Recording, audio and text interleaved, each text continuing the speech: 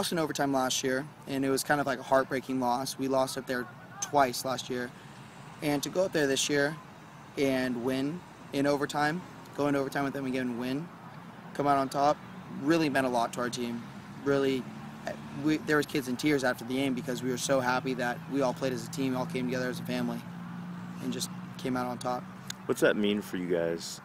You know, when guys are you know doing that after a game, and what it means to win.